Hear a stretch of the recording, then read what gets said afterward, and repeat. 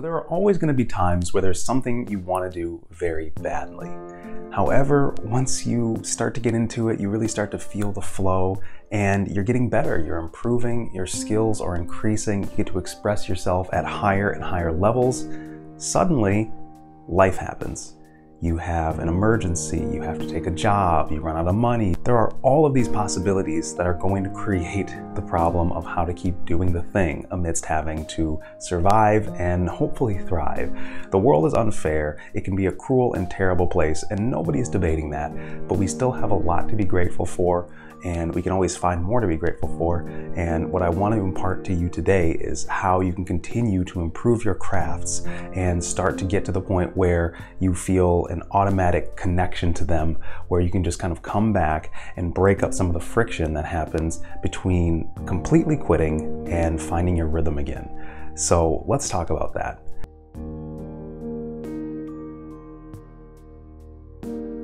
Basically, I took a little time off, some of you may have noticed on this YouTube channel, to work on a secret project.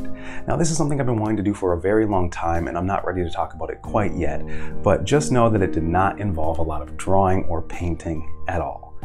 And in the couple of months that I was doing this project, I really felt connected to the creative disposition that I had chosen. And okay, okay, okay, I hear you. If you really, really want I'll give you a tiny little hint at what I've been doing.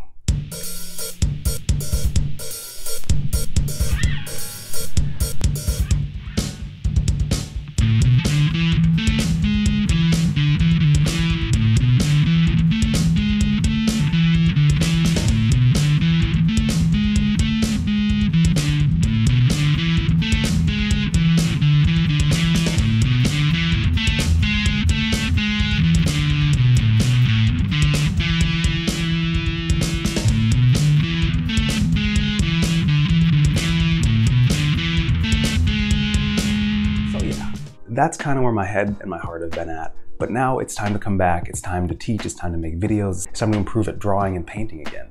So that means that I have to find a rhythm and a flow.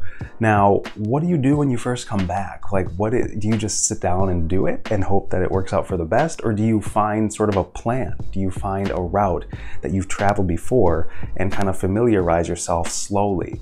I would equate it to, as you know, many people do in this sort of analogy, I would equate it to lifting weights. It's an example I like to use a lot because let's say you take a break from weightlifting, your bench was 200 pounds, which is, you know, a solid or somebody who's been doing it a little bit, and you're like, okay, well, I can't quite rack 200 for my one rep max anymore. Otherwise, you're, you risk tearing something, taking even more time off. So you gotta warm back up. So what do you do? Maybe just start pressing the bar. See how the bar feels. Maybe you put like a couple plates on. See how those plates feel.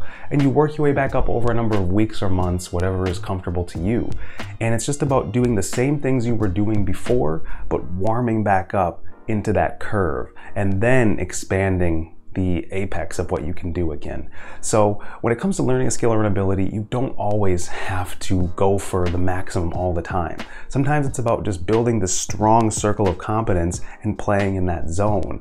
However, you can, you know, go out and branch into new skills, expand the circle of competence, and even start to, you know, acquire new skills and synergize them. However, it's really, really difficult when you don't have sort of a measured way of doing so. Once you find your rhythm again by testing the things you used to do, say figure drawing or sketching landscapes or creating creatures, whatever the case may be, then you start to get back to the point wherein you can just let go and start to create again.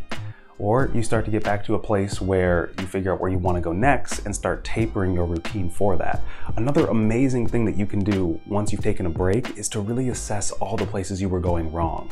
For example, the secret project I was working on last night, I found out there was a fatal mistake in what I was doing in the mixing process where the sound was getting really muddy. And I worked a whole month with really muddy sound. Now I can still go back and figure out how to remix and fix it, but it's gonna be a lot more work and I have to solve this very crucial foundational problem. So it's like when you're working forward on any given project or any given craft, there are foundational things you have to learn, principles. When it comes to drawing, I pretty much laid out every single one of them I know in the beginner drawing course, which you can find, of course, in the description box.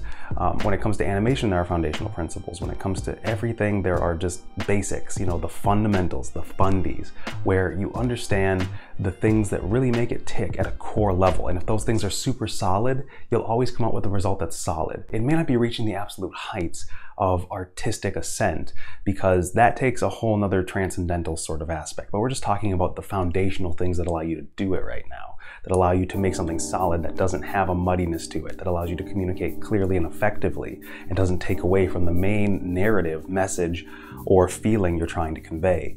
So, what you can do when you first come back is figure out what are one or two areas in my craft that are really hampering me, either hampering my ability to express greater or hampering the actual technical aspects of what I'm doing. For example, if you're engineering something and you had a product that, you know, was fairly successful, but let's say it was 3.6 stars out of 5 on the marketplace you released it on, and it's because of this one integral design flaw that everybody hated. You have to come back and fix that design flaw because it's going to help you iterate upon it and you already have a customer base. You know, you've already started somewhere. So that means that you have to find that singular aspect and improve upon it or, you know, your competition will in the marketplace. And then you basically get bumped out and you have to stop your business and do something else. So that's really what I have for you today. It's essentially about coming back to your craft, warming up and not feeling bad, just getting started playing around again, evaluating from new fresh eyes and a new fresh open heart, especially if you were burned out.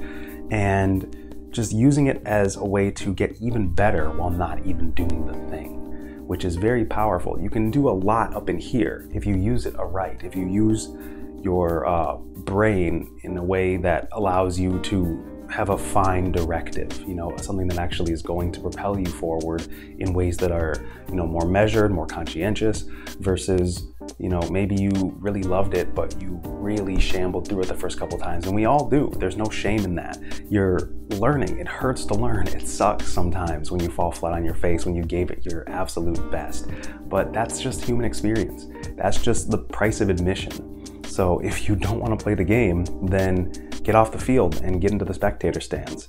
And you're going to get hurt sometimes. There's going to be injuries, but you really have to find those ways to keep yourself solidified and cemented in your resolve, to keep fortifying your desire so that you don't burn out, so that the fire inside your heart does not turn into a smolder of sorrowful ash. And yeah, I know it's pretty dramatic, but whatever. We're artists here. We like that kind of poetic waxing. Anyway, I'll see you in the next video. Thank you for watching. Feel free to check out the beginnerdrawingcourse.com in order to find courses to help you level up your drawing abilities, painting abilities, and now your animation abilities. Uh, I've been Taylor Payton. I still am Taylor Payton, and I'll see you in the next video. Take care and happy creating.